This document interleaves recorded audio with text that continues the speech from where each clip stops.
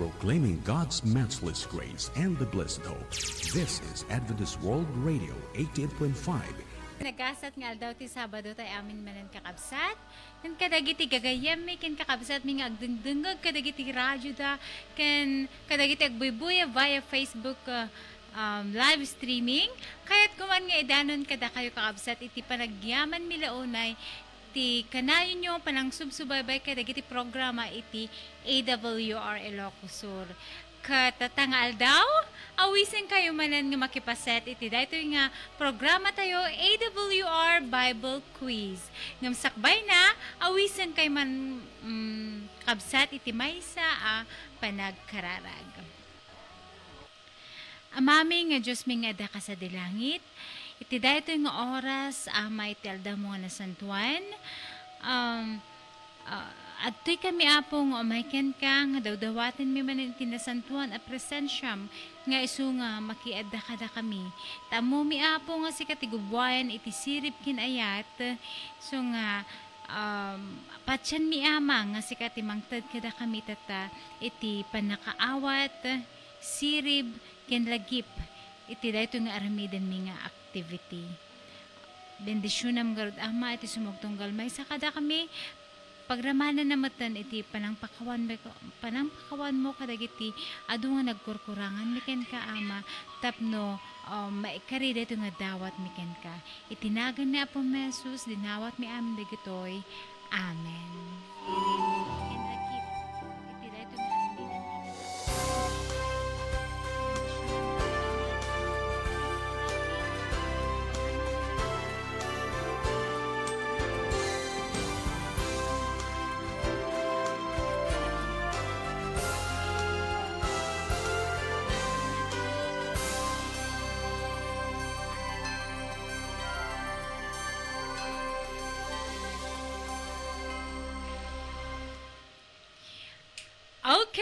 ti Bible quiz tayo nga Sabado kakabsat. Kat, um, familiar tayo kadi kadagiti 12 disciples of Jesus. Okay, dito ti um, answers tayo tata. Dagiti 12 nga disipulo ni Apo Jesus. I-refresh tayo man kakabsat dagiti minds tayo or um, lagipan tayo. Okay? Dagiti na adal tayo iti napalpalabas nga um, al-al daw kat pa-check nga dagiti questions tayo tata. Dagiti teramidin tayo nga quiz ta nga aldaw. Kat masungbatan tayo nga 100% okay? So um, encourage kayo kakabsat nga iti panagbasbasa tayo iti Biblia tinaldaw-aldaw. Siya kakabsat kat um, uh, ti panagararamid ko iti questions iti dito nga uh, programa tayo by AWR Bible Quiz. Kamalay na yun na dadya pa nakaamok kadagiti nilaon iti Biblia.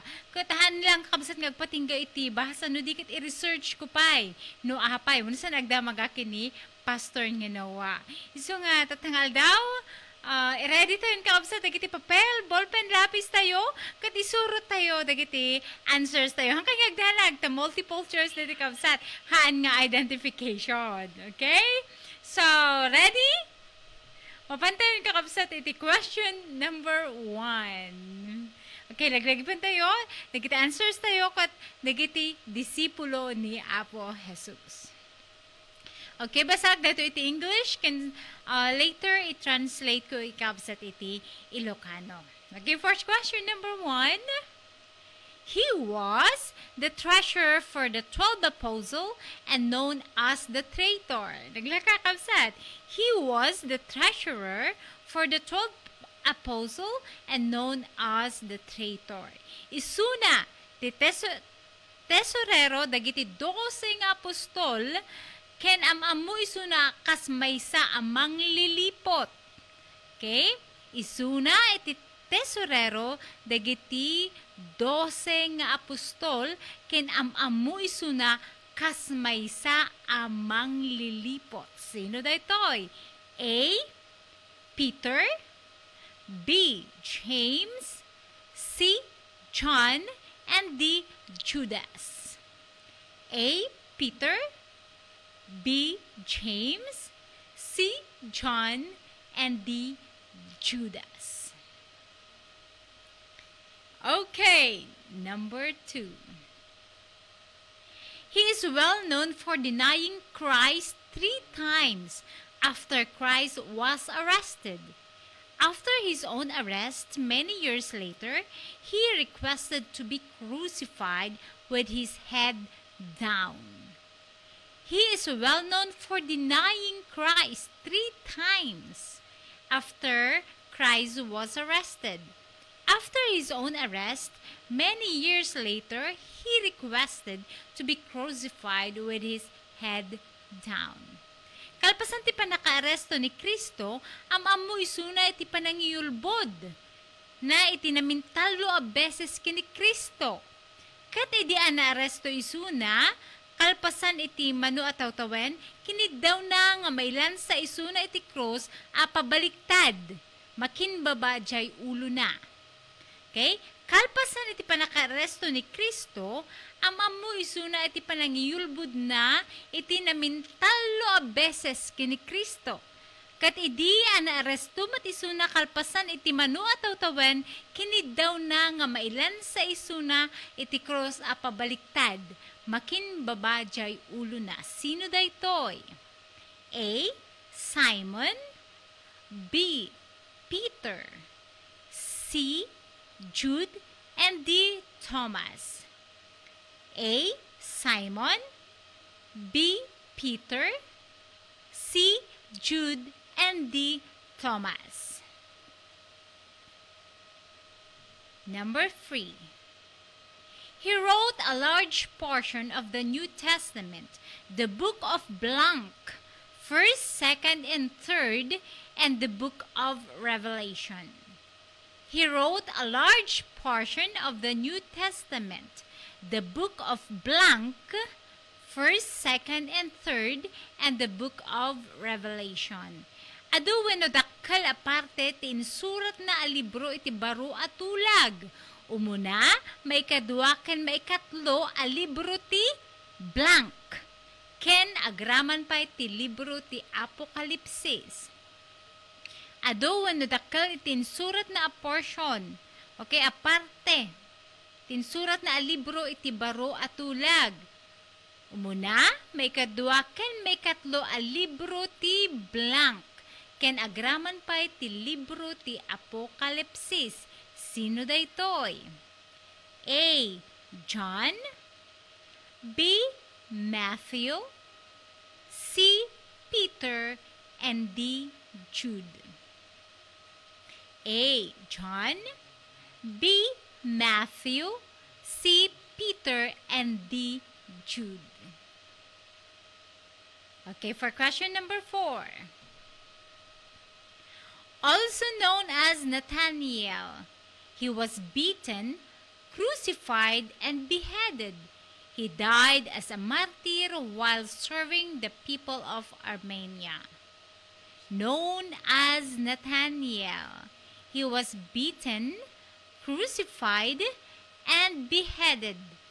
He died as martyr while serving the people of Armenia. Am amo isuna kas Nathaniel, na baot-baot isuna, na. Ilan sa akin naput, naputudan ti ulo. Natay isuna wano pinatay da nga awan iti nakabasulan na, idinto a pagserserbyan na dagiti tattao sa jay Armenia.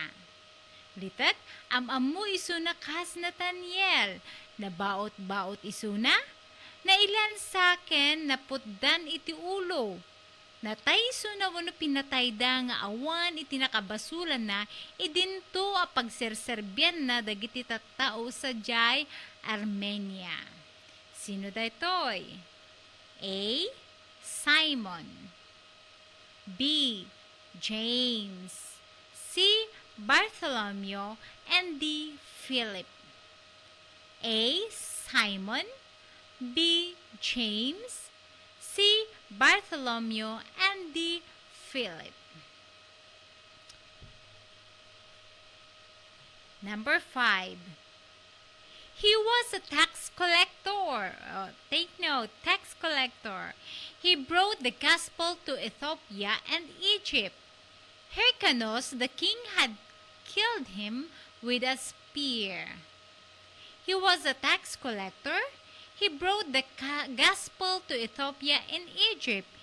Hyrcanus, the king, had killed him with a spear. Sino da ito'y? May sa isuna at tagasingir iti buwis. Inpan na ti damag ti kinapudno sa di Ethiopia kin Ehipto. Ni Ari Hyrcanus kat pinatay na iso na baban iti maysa apika. Kay maysa iso na nga tagasingir iti buwis. Inpan na ti kinapudno sa di Ethiopia ken Ehipto ni Ari Hyrcanus kat pinatay na iso na babaon iti maysa apika. Sino da ito'y? A. Matthew B. Philip C. Thomas and D. Andrew A. Matthew B. Philip C. Thomas and the Andrew Okay, for question number 6 For question 6 to 10 True or false kakabsat iti isurat tayo. Pudno kadi wano saan about the 12 disciples of Jesus. Okay, for question number 6. James, ang mamutay ni James, James and John, um, member that the 12 disciples of Jesus, were sons of Zebedee. Zebedee. John is younger than James.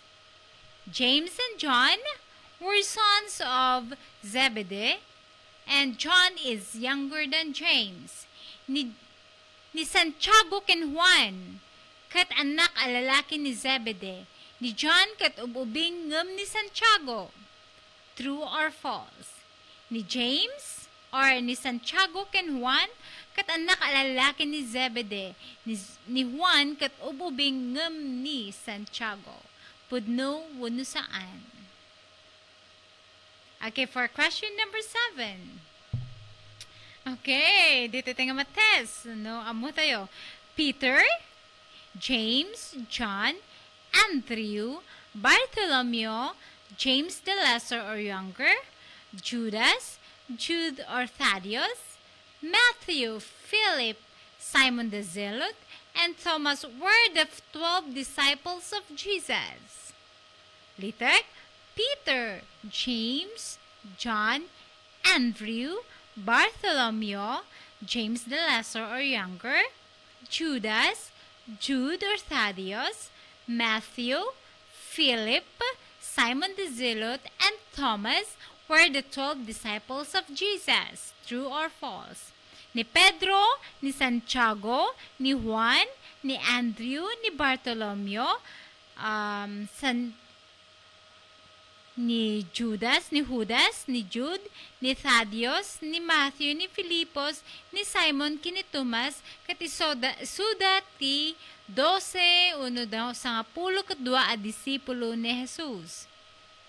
Ni Pedro, Santiago, Juan, Andrew, Bartolomeo, Santiago, Judas, Jude, Thaddeus, Matthew, Filipos, Simon kin Thomas kat isuda ti 12 a disipulo ni Jesus.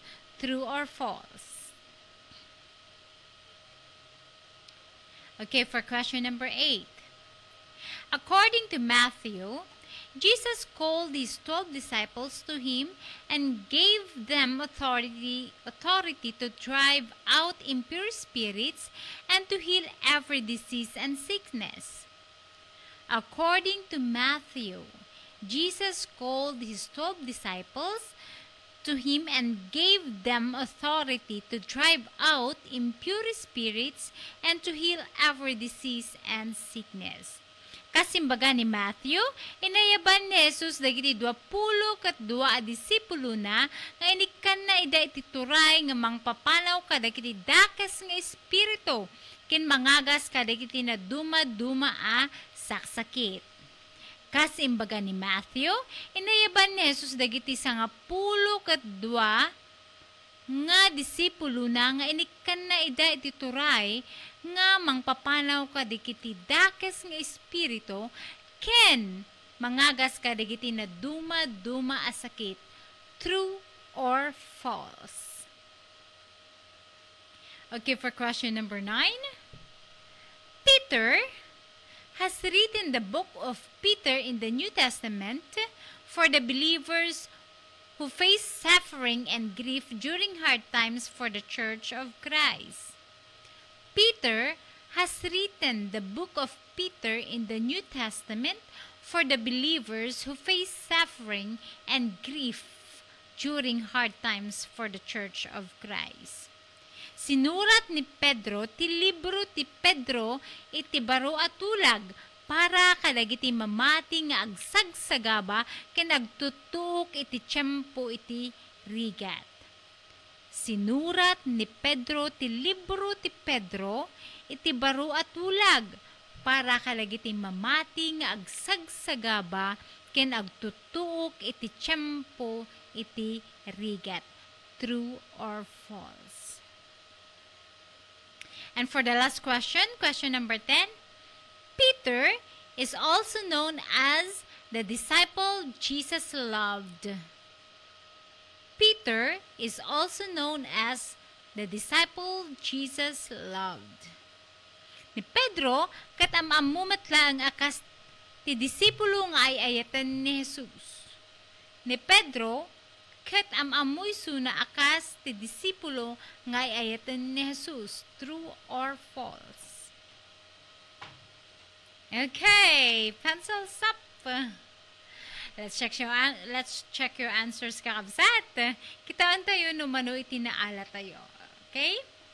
Dahil kakabsat kit may salang nga uh, mang-refresh kada kiti panpanunot tayo. Okay, for question number one. Let's go to the answers. He was the treasurer for the 12 apostle and known as the traitor. Isuna ti manglilipot, isuna ni Letter D, Judas. Isunat na nangilako kabsat kinaapo Jesus iti manong shekels 30. Okay, number two, question number two. He is well known for denying Christ three times after Christ was arrested. After his own arrest, many years later, he requested to be cross crucified with, with his head down. Sino datoy? Letter B, ni Peter.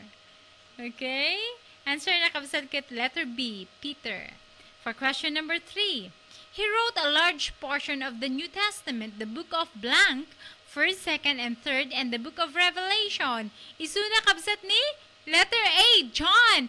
First John, Second John, and Third John, iti sinurat na iti New Testament and including the book of Revelation. So, the answer for question number three is letter A, John.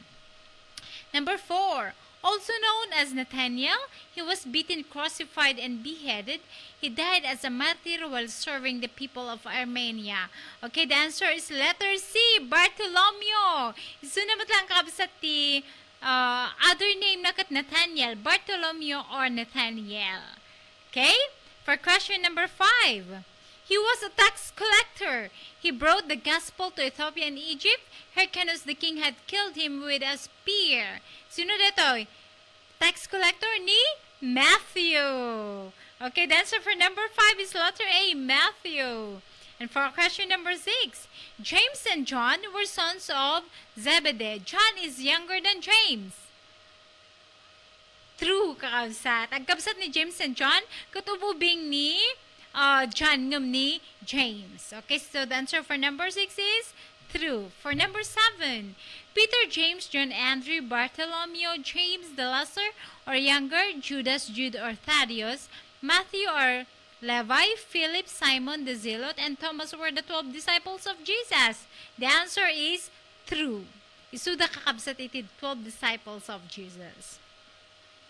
Okay, for question number 8, according to Matthew, Jesus called his 12 disciples to give to him and gave them the authority to drive out impure spirits and to heal every disease and sickness. The answer is true. Okay, for question number 9. Peter has written the book of Peter in the New Testament for the believers who face suffering and grief during the during hard times for the Church of Christ. So the answer is true. And for the last question, Peter is also known as the disciple Jesus loved? The answer is false. Sino kakabsat apay nga false? Kasi han nga ni Peter no dikat ni John. Iso nga bagada nga John the beloved. Okay? So it was not Peter, it is John. Okay! Manuti scores tayo amin kabsat. Sigurado um, hang kayo nga nakala iti below 6. I'm sure ni Pastor Noah, hindi nga pinag-quiz ko. Gamin before akagita ti, ti quiz, ipa-quiz ko, pag-quiz pa ni Pastor Noah. So, tinaalala ni Noah dito ko 9 over 10. Okay? So, dito nga kami sa tinag naglipasan ni quiz tayo. Ito nga Sabado. Kat ito no sumaruno kakabsat nga Sabado, um, ag-review kayo about the books in the Old Testament. Okay, dito tipa quiz ko kabsat sino iti author, sino tinagsurat kada gito nga nga books, pero anmat nga hanmat nga amin, okay? And anya iti nilaon na iti book book ti Genesis, Exodus, Leviticus, Numbers, Deuteronomy, and ingana Malakay. Okay? So, let's have a short recap, ay short review kabsat. May, may papan ka iti books iti Old Testament. Dito ti pa-quiz ko kabsat into no Sabado. So, um, mamatiak nga ag-review tayo tapnom ma-perfect tayo iti quiz tayo into no Sabado. Kat kas panaglipas ti dito nga programa tayo kabsat awisin kayo mampay ngagdumog tayo iti maysa nga panagkararag. Amami nga da ka sa dilangit, agyaman kami apo iti presensyam uh, panakikadwam kada kami habang alaramidan mi apo dito yung activity mi. Iti pamendasyon mo nga apo iti uh, maawat mi itataken iti agnanayon. Tinagan na po mesos, dinawat mi amin nagtoy. Amen. Okay, kamsa dito din naglapasan iti programa tayong AWR Bible Quiz. Kati nakard agpakadan siya kati kabsat kin kayam nyo. Uh, blessed yes hope. Kadwak mat dito iti master control. Nga naanos nga uh, mangkad kadwa kadagiti um, participants kadagiti programa iti AWR kabsat ni Pastor Arman Samihon. May God bless us all.